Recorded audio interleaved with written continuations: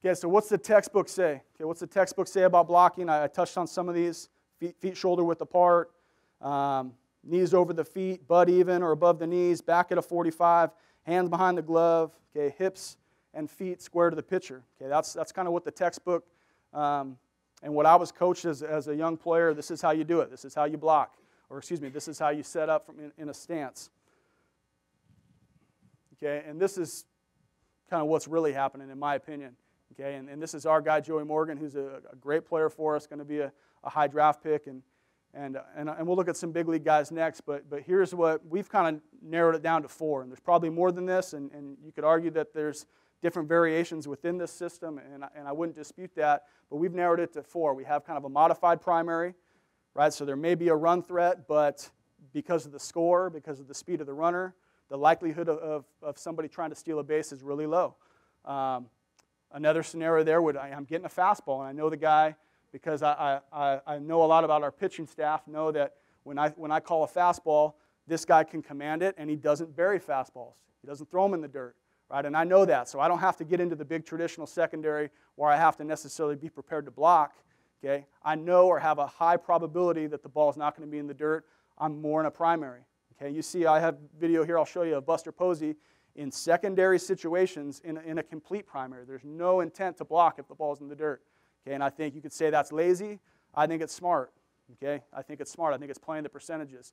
Okay, we have a fastball secondary where we might be a little more staggered with the feet.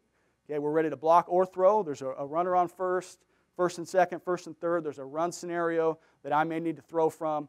Um, but I know, again, because the guy on the mound I trust, doesn't bury fastballs very often. I can cheat the feet slightly to throw. Um, we can call it cheating. I like to use more the term of hey, I'm trying to, to push the margin or, or the, the, the percentages in, in, my favor. Okay, we have a non, a non-fastball secondary where maybe I'm a little bit more square. Um, I'm getting something that's not a fastball, so the, the likelihood of it being in the dirt or higher. I'm a little bit more prepared to block, but could still throw.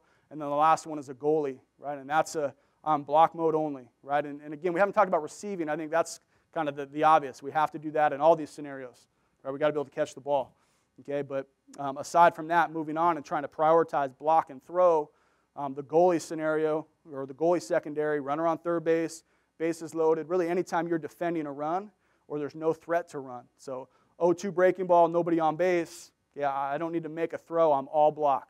I'm all block mode, right? And I get in a position that allows me to accomplish that task um, at, a, at a high probability.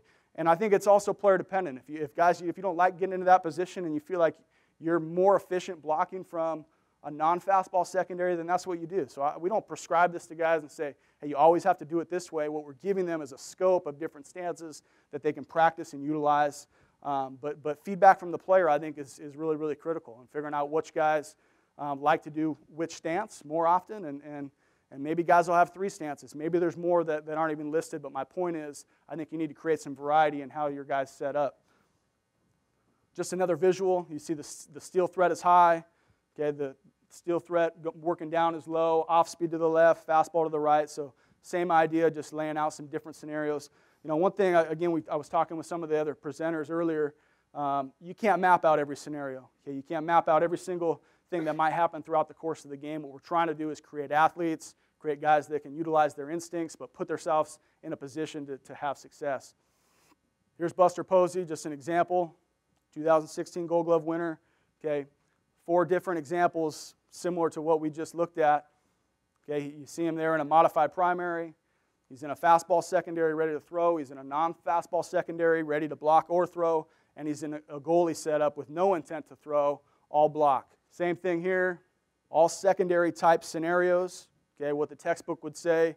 You get into a, a traditional secondary stance, and notice you see some versatility or some variety. I think in all occasions, too, it's Madison Bumgarner versus the one down in the right. The bottom right is, is the only outlier, but same pitcher, same catcher, different situations in the game, okay, different secondaries.